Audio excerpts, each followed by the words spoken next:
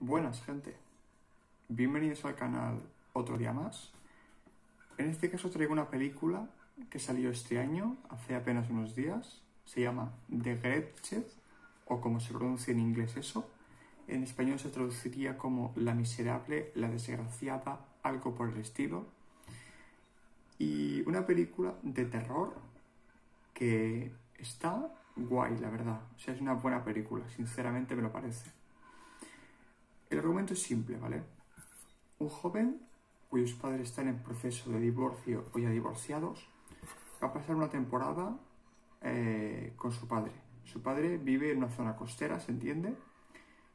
Y es dueño de un, de un, de un amarre o algo así, ¿vale? Tiene una empresa náutica que se dedica eh, en parte a hacer como una especie de casales de verano o de socorrismo para, para bañistas, ¿vale? Para la gente joven de, allí, de, la localidad.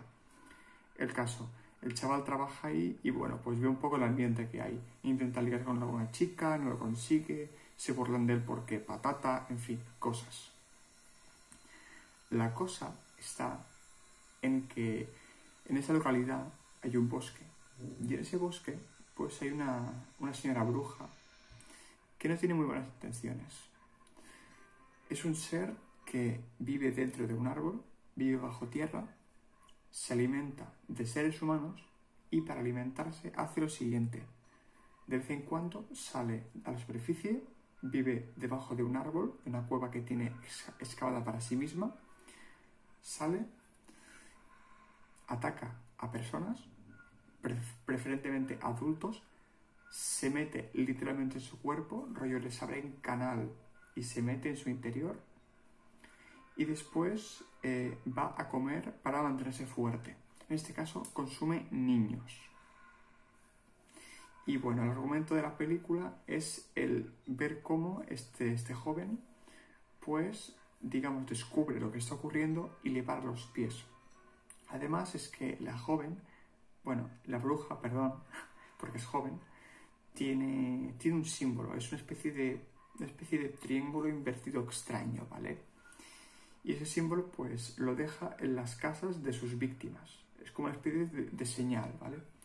Entonces, el joven, pues, día casual, eh, de casualidad encuentra ese símbolo, se pone a investigarlo y se da cuenta de que igual tiene una bruja come niños en su vecindario. Y es interesante además eh, porque en sí, aunque sea el protagonista, él no es ni la víctima en sí, ya que la víctima es el hijo de los vecinos. En su calle viven un matrimonio eh, con un niño pequeño y ese monstruo lo que hace es se hace con el control de la madre y después busca comerse al niño, a su hijo. Y eh, el protagonista tendrá que detenerlo como sea. Además de esto, eh, una de las chicas con las que intenta ligar en el, trabajo, pues también tiene una niña pequeña, así que razón de más para intentar salvar vidas de niños pequeños, que es para ligar. y bueno, también es interesante porque hay una cosa que da mucho juego, es que, claro, se entiende que la bruja lo que hace es meterse dentro del núcleo familiar y devorar a los niños. Para conseguir esto emplea un, una especie de poder, que es que los padres, los miembros de la familia, se olviden de la existencia de sus hijos. Es decir, entre, entre familiares pasan a ser invisibles unos a otros. Y claro, eh, no puede importarte, no, puede importarte el que una bruja se coma a tu hijo si tú no recuerdas que tienes un hijo.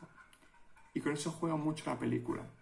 Desde al final hay un cierto giro inesperado de guion, quizás no muy importante, pero que te ayuda a entender un poco hasta qué punto puedes olvidar que tienes, que tienes familia. Es interesante, la verdad.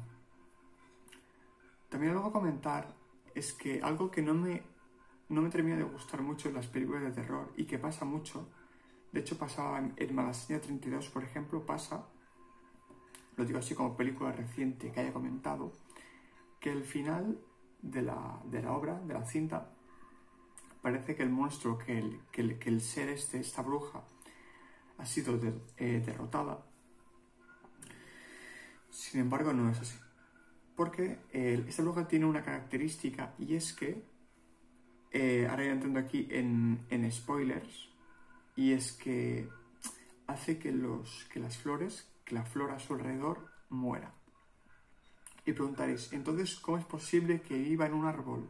Pues bueno, vive en un árbol, pero ese árbol es que aparece y desaparece a voluntad de la bruja. Con lo que se entiende que es un árbol que no muere porque está subyugado a las órdenes mágicas de esa bruja del bosque.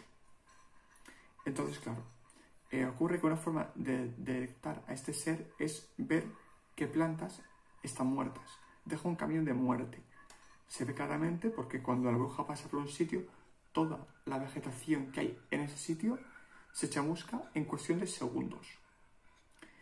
Y ocurre una cosa al final, que es algo que me da un poco de rabia, como digo, estoy entrando aquí en spoilers, claro, al final de la película, pues, cuando ya han vencido a la bruja, pues la joven esta, el, el, ligue del protagonista, le ofrece al protagonista eh, una flor o algo por el estilo, ¿vale? Entonces el chico pues se la queda y se, se la lleva eh, al coche con su padre, la novia de su padre y su hermano pequeño. Claro, se da cuenta entonces al olerla que no tiene olor y pregunta, ¿por qué no tiene olor esta flor? Se fija bien y ve que la flor es de plástico. Es decir, es una flor falsa. Y, ahora nos preguntaremos, ¿y por qué le daría la chica una flor falsa a su novio, para entendernos? Pues porque ella tiene dentro la bruja y para que no la descubra, pues lo ha hecho. Esto, como digo, o sea, está bien planteado, la verdad, pero ya en sí la idea de que la bruja no haya sido vencida podría entenderse como que van a hacer una secuela, pero sinceramente lo dudo, porque es una, esta es una película de serie B a fin de cuentas, una película de, digamos, de poco presupuesto, con actores que no creo que ninguno sea demasiado conocido. Así que esto es más para dejarte ahí la intriga del, uy, al final el mal no ha sido vencido por completo. Y claro, mm, esto da pie a pensar que habrá una secuela, pero en muchos casos no la hay.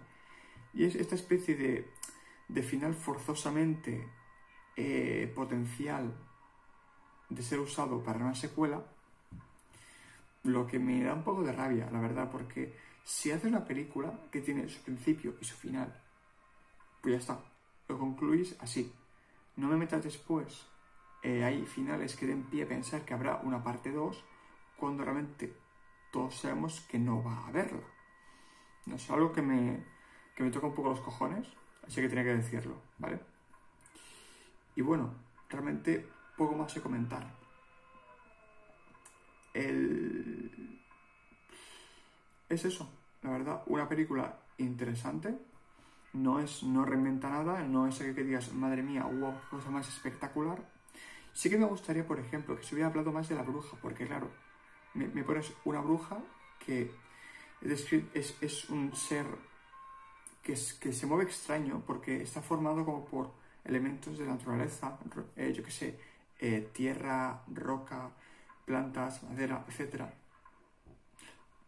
Y está, o sea, está bien porque ves que el, cuando se mete dentro de un cuerpo, el cuerpo de su huésped, digamos, de la persona o sea, el cuerpo de fuera de la persona a la, cual, digamos, le robas la identidad, se va degradando con el tiempo.